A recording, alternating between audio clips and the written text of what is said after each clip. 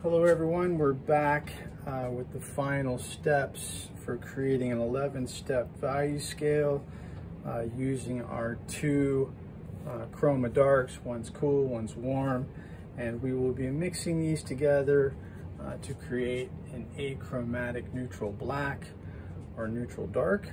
Um, and this is the mixture we will use uh, to create our darkest dark, and then by adding white, move to our lightest light, which will be pure titanium white uh, in this 11 step value scale.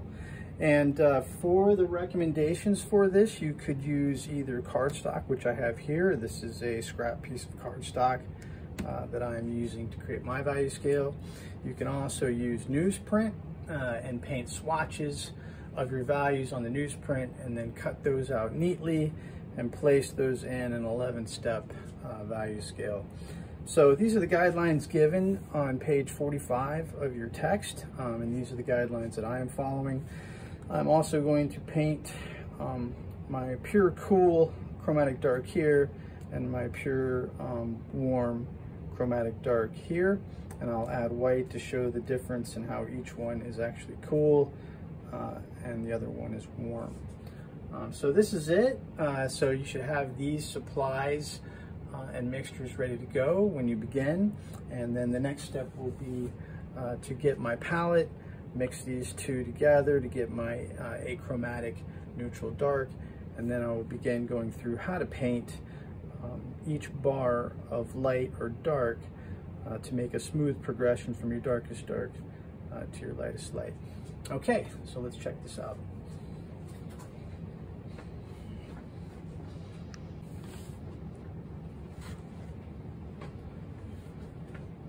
We are now at the last stage of project one where we will now uh, paint in our 11 step value scale. This will be the achromatic black and this will be pure titanium white. Uh, the middle will be a middle gray uh, and this will represent middle gray before we go to our darkest dark and our lightest light. I have at the top a small circle of the chromatic dark cool and a small circle of the chromatic dark warm. Okay, so at this point we'll fill in the first rectangle with our pure achromatic black. And if you've noticed uh, right here around this rectangle, I've used easy release tape so I can have a sharp edge uh, on each of these rectangles and so it'll look neat uh, and the craft will be presentable. Um, this is also on a piece of uh, scrap cardstock, um, and that is fine. Just remember when you're done uh, to cut it away so you can mount it uh, on another piece of paper, and this way it will stay in good condition and you can use it as a reference. Okay, so let's begin this process with putting in our first darkest dark, and I will take a little bit out and I'll put it on the palette. I don't need a lot. I'll move some over here. And I will add a little bit of retardant to this and then mix this in. And this is the basic process for uh, doing most of these intermixtures. We're moving from black uh, to different uh, values down to our pure titanium white. And if you notice, uh, our achromatic neutral isn't necessarily warm, it isn't necessarily cool, it's kind of in between, um, and that's what we're looking for. So that mix is pretty good. Uh, now that I have it mixed up, just put my brush in. And uh, as you do this, you'll notice, of course, I have my um, easy release tape for my mask. Even though I have the easy release tape uh, to create a clean edge, I still will not brush into the edges.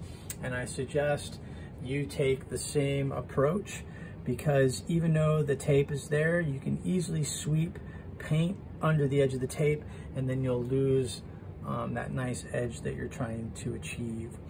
Uh, so the best way to do this is usually go with the edge on your first on your first passes. It may take a few layers, right? to get that built up. But you can do this. Right, I'm gonna move with that edge, not brushing into the edge.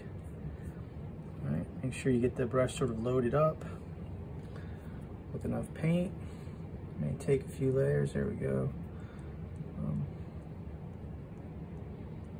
and there's no guarantee, the easy release tape is just there to prevent the work from becoming sloppy. And you'll notice here, I'm gonna go with the edge again and try to steer clear of brushing into the edge.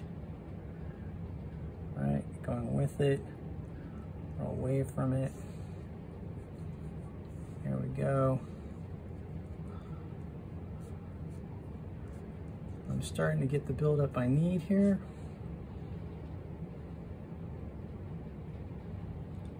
Okay, give that a moment. Maybe add a little bit more here.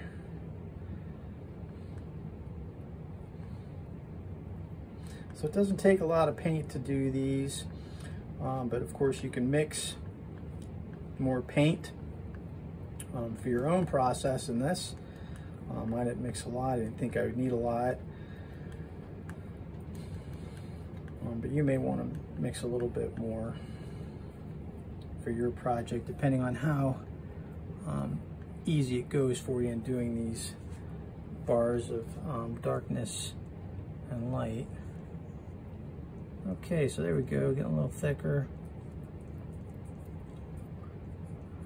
So this is basically it. I'm going to keep applying um, layers to this top square until I get it um, nice and black and completely saturated uh, with paint. Because in value and especially in value scale you want a consistent light or dark um, bar of light so that you can measure all other bars of light or dark or gray against your control, which is your darkest dark, or um, your lightest light, which will be pure titanium white here at the bottom.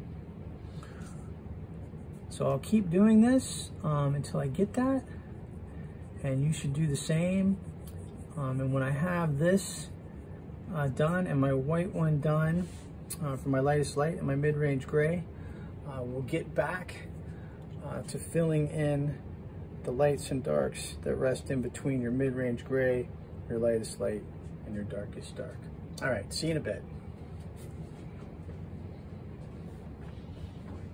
Hello folks, we're at the end of the Project One demo for mixing two chroma darks, one cool and one warm, uh, to create a achromatic black and then to create an 11 step value scale. So at this point, I've made my darkest dark, which is my achromatic black. I've mixed in a little white to create my mid-range gray, and I've used pure titanium white for the lightest light um, at the end of the 11 step value scale. Um, so when you begin this work, take your time, pay attention to uh, how you use your palette knife, how you use your brushes, um, storing your paint, using your uh, modifier for extending the drying time. Uh, be sure to clean your brush off with each new uh, bar of light or dark that you make uh, so you can have consistency um, in each of the values that you put in your 11 step value scale. And uh, I look forward to seeing your value scales and I hope this uh, demo was insightful and you're able to get some useful information for your own project work. All right, See you again at the next demo.